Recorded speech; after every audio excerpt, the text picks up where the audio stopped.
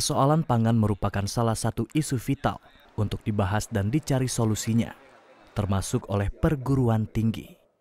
Kontribusi perguruan tinggi sangat strategis dalam memberikan berbagai input, baik berupa masukan hasil pemikiran, riset, maupun inovasi untuk memecahkan berbagai persoalan pangan nasional.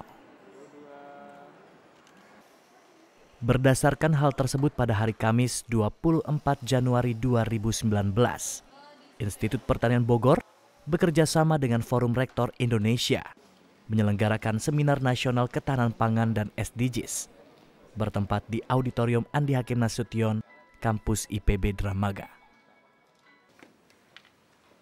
Seminar dibuka oleh Rektor IPB Dr. Arif Satria. Dalam sambutannya Rektor IPB menyampaikan bahwa saat ini IPB telah meluncurkan konsep agro maritim 4.0 berbasis teknologi dengan harapan teknologi ini bisa saling mengontrol informasi produksi pertanian dari hulu hingga hilir. Seminar ini bertemakan kebijakan pangan Indonesia yang bertujuan untuk membahas konsep ketahanan pangan dalam kerangka SDGs untuk memberi solusi atas berbagai tantangan dan isu strategis bidang pangan saat ini dan yang akan datang. Turut hadir dan juga sebagai keynote speaker adalah Menteri Pertanian Republik Indonesia, Dr. Amran Sulaiman.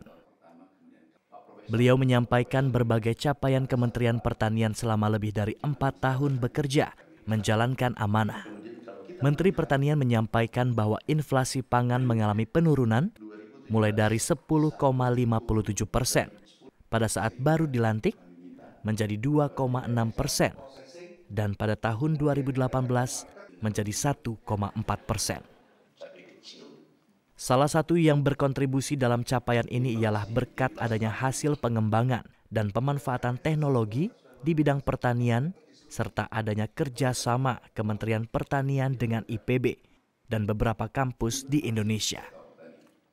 Hari ini kelihatan inflasi pangan kita itu lompatannya bisa jadi terbesar dunia dari 10% menjadi satu persen. Itu lompatan luar biasa. Melompati 12 negara, negara negara besar. Jerman dilompati, China dilompati, perubahan inflasinya, pangan. Kemudian PDB kita naik dari 900 triliun menjadi 1460 triliun. Itu juga lompatan luar biasa dan itu sudah divalidasi oleh BPS. Dan itu tidak lepas dari IPB. Teman-teman dari perguruan tinggi lainnya, Unhas, IPB, UGM, seterusnya. Ini adalah kerja kita bersama, bukan kerja sendirian Kementerian Pertanian. Semua yang terlibat, termasuk IPB, mensupport teknologi-teknologi baru. Acara dilanjutkan dengan talk show tentang SDGs yang dimoderatori oleh Dr. Bayu Krisnamurti sebagai koordinator IPB SDGs Network dengan menghadirkan beberapa narasumber, di antaranya Dr. Subandi, Deputi Bidang Pembangunan Manusia, Masyarakat dan Kebudayaan Bapenas. Beliau menyampaikan bahwa perguruan tinggi memiliki peran penting dalam pelaksanaan SDGs. Indonesia memiliki rencana aksi nasional tentang SDGs dan ke depannya perlu juga rencana aksi daerah tentang SDGs. Peranan perguruan tinggi sangat penting dalam mendampingi dan mengawal pelaksanaan SDGs di daerah. Eh, target-target SDGs itu ada di eh, target-target rencana pembangunan jangka menengah dan target-target eh, rencana kerja pemerintah tahunan. Nah, pendidikan tinggi merupakan satu dari prioritas nasional. Jadi tentunya anggaran-anggaran bagaimana meningkatkan akses penduduk kita untuk mendapatkan pelayanan pendidikan, termasuk pendidikan tinggi, dan juga meningkatkan kualitasnya, meningkatkan relevansinya dalam artian uh, lulusannya itu tingkat employability-nya tinggi, dan tentunya lulusan perguruan tinggi ini kita harapkan uh, betul-betul dapat mendukung daya saing. Insinyur Fatan Kamil, Ketua Himpunan Alumni IPB, menjelaskan bahwa ada satu hal yang penting yang perlu diperhatikan yaitu bagaimana menerjemahkan SDGs ini pada semua level komponen bangsa hingga pada level petani. Profesor Trihanggono Ahmad, Rektor Universitas Pajajaran, memaparkan bahwa komunitas akademik memiliki peran penting dalam SDGs. Melalui pendidikan, mampu menyediakan pengetahuan tentang hasil riset dan inovasi berkaitan dengan implementasi SDGs. Dr. Ridwan Nurazi, Rektor Universitas Bengkulu, menegaskan kembali bahwa SDGs merupakan komitmen semua pihak. Implementasi SDGs perlu didukung oleh adanya pemetaan terkait berbagai aspek SDGs, sehingga implementasinya dapat tepat sasaran. Dr. Aji Hermawan, Kepala LPPM IPB, beliau mengatakan bahwa SDGs sangat relevan dengan kegiatan penelitian dan pengabdian kepada masyarakat.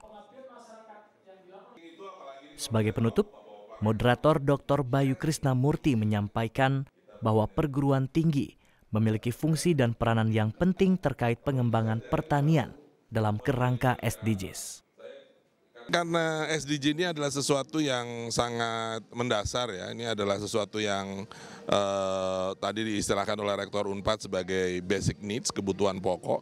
Maka ya kita terus melakukan apa yang kita lakukan, yang terbaik kita lakukan eh, dengan penelitian, pendidikan, pengabdian masyarakat kita dan kemudian kita kontribusikan, ya, kita letakkan dalam kerangka SDG. Network ini diharapkan mampu memperkuat uh, kontribusi PB itu membuat menjadi lebih sinergis satu sama lain, sehingga dampaknya juga menjadi lebih besar. Semoga dengan adanya Seminar Nasional Ketahanan Pangan dan SDGs ini mampu menjadi wadah informasi dan menjadi ajang bertukar buah pikiran dari seluruh perguruan tinggi dalam mengembangkan program pembangunan yang berkelanjutan, terutama di sektor pendidikan dan pertanian. Haikal Saputra dan Satya Alfi melaporkan untuk Green Highlight.